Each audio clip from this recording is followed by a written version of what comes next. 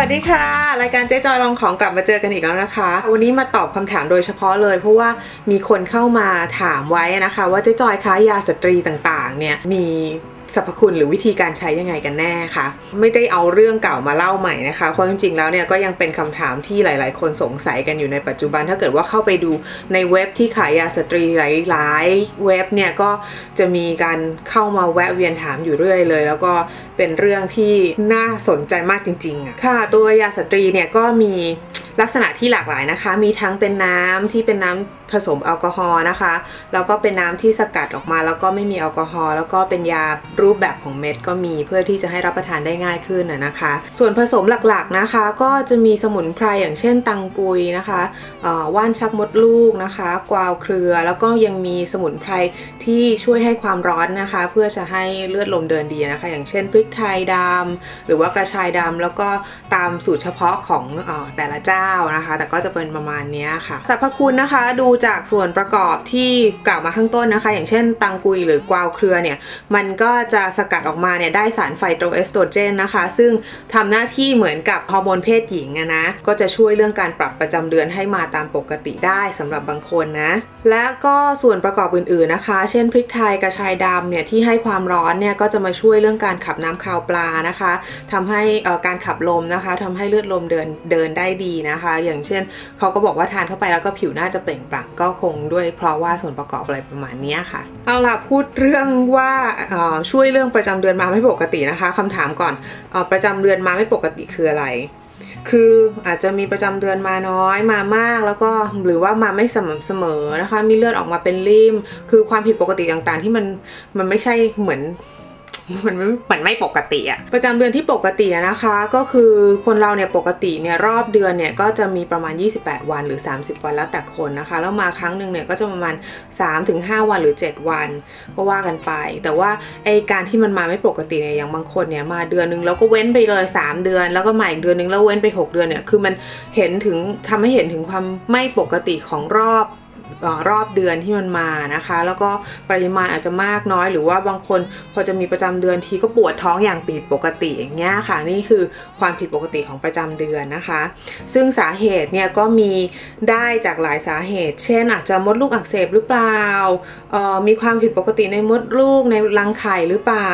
หรือบางทีเนี่ย ถ้าไม่ทราบเนี่ยบางคนเนี่ยอาจจะเกิดความผิดปกติของสมอง แล้วก็ทำให้ฮอร์โมนที่หลั่งมาผิดปกติ ส่งผลให้รอบเดือนมาไม่ปกติก็เป็นไปได้ ซึ่งอาการผิดปกติเหล่านี้จริง ๆ แล้วถ้ามันเกิดขึ้นเนี่ยเราก็ควรจะไปปรึกษาคุณหมอนะคะ เพราะว่าคุณหมอก็จะได้ประเมินได้ว่าวิธีการรักษาเนี่ยใช้วิธีไหนถึงจะดีที่สุด ก็สรุปเลยนะคะ ยาสตรีเนี่ยเป็นยาบำรุงนะ ไม่ใช่ยารักษานะ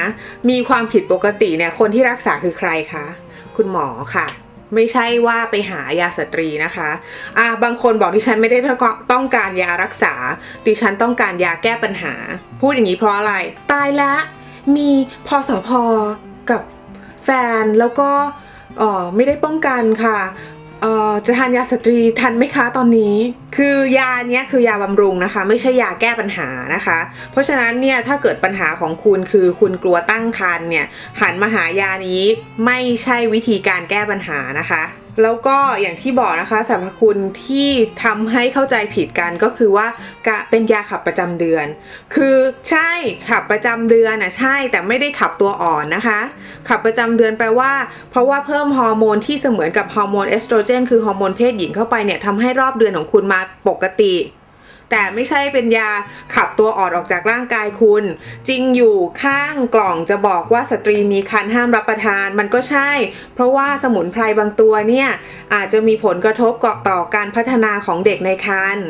เพราะฉะนั้นเขาก็ห้ามแอลกอฮอล์เนี่ยถ้าเกิดว่าคุณทานเยอะเกินไป มันก็อาจจะทำให้ส่งผลกระทบต่อเด็กในครรภ์ของคุณเหมือนกัน แต่ไม่ใช่ว่าเป็นห้ามหญิงมีครรภ์รับประทานเพราะฉะนั้นฉันกลัวตั้งครรภ์ฉันยิ่งรีบรับประทานให้เยอะๆๆจะได้ไม่ตั้งครรภ์เพราะว่า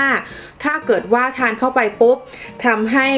ตัวอ่อนในครรภ์ของหญิงมีครรภ์หรือคุณเนี่ยเสียชีวิตอยู่ในท้องเนี่ยมันไม่ใช่จะขับออกมานะคะ ก็คือมันก็จะเป็นอันตรายต่อตัวคุณอย่างยิ่งเลย เพราะว่ามีตัวอ่อนที่เสียชีวิตอยู่ในท้อง แล้วผลสุดท้ายคุณก็ต้องไปหาคุณหมออยู่ดี เพราะฉะนั้นเนี่ย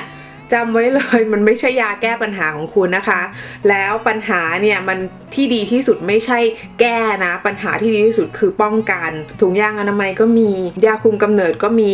ยาคุมฉุกเฉินก็ยังมี เพราะฉะนั้นเนี่ยอย่าหันไปหายาสตรี แล้วคิดว่าเป็นทางออกที่ปลอดภัยเพราะว่าเป็นความเข้าใจที่ผิด ก็ขอยกตัวอย่างนิดนึงละกันเข้าไปหาในเว็บที่ขายยาสตรีนะคะ ก็ตกใจนิดหน่อยไม่บอกหรอกว่ายี่ห้อไหนมีน้องๆเข้ามาถาม บอกว่ากินยาสตรียี่ห้อของพี่เนี่ยเริ่มกินมาได้สักพักหนึ่งแล้วเพราะว่าประจำเดือนมาไม่ปกติ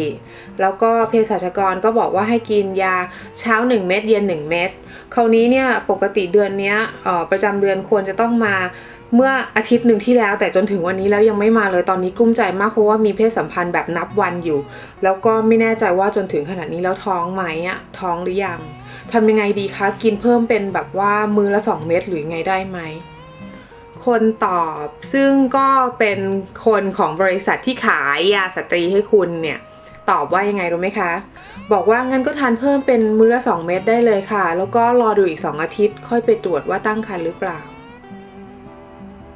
สุขภาพของคุณ ความเสี่ยงของคุณ ถ้าเกิดว่ามีอะไรผิดปกติจากตัวอ่อนในท้องถ้าเกิดคุณท้องนะ แล้วมันส่งผลให้คุณเจ็บป่วยไปมากถึงขั้นเป็นอันตรายต่อชีวิตเขาก็ไม่มารับผิดชอบนะ เพราะฉะนั้นเนี่ยการแก้ปัญหาโดยการใช้ยาสตรีเพื่อแก้ปัญหาที่คุณจะมีเนี่ยไม่ใช่ทางที่ถูกนะที่สำคัญเนี่ยเราว่าถ้าเกิดว่าคุณกังวลอะคุณควรไปปรึกษาคุณหมอ ว่าจะทำยังไงดีอ่อ มากกว่าที่จะบอกว่ากินยาสตรีเพิ่มเราจะแก้ปัญหาได้ไหม ก็เคลียร์เคลียร์กันเลยดีกว่านะคะเเจ๊บอกได้เลยนะคะ ยาสตรีเนี่ยไม่ได้มีเอาไว้ทำแท้งนะคะ เพราะฉะนั้นเนี่ยมันไม่ใช่นะคะ เข้าใจกันให้ถูกซะตั้งแต่ตอนนี้เลยแล้วกันนะคะ เอาไว้เจอกันครั้งหน้านะคะ แล้วมาดูว่ามีหัวข้อไหนมาคุยกันอีกนะคะ แล้วเจอกันค่ะ สวัสดีค่ะ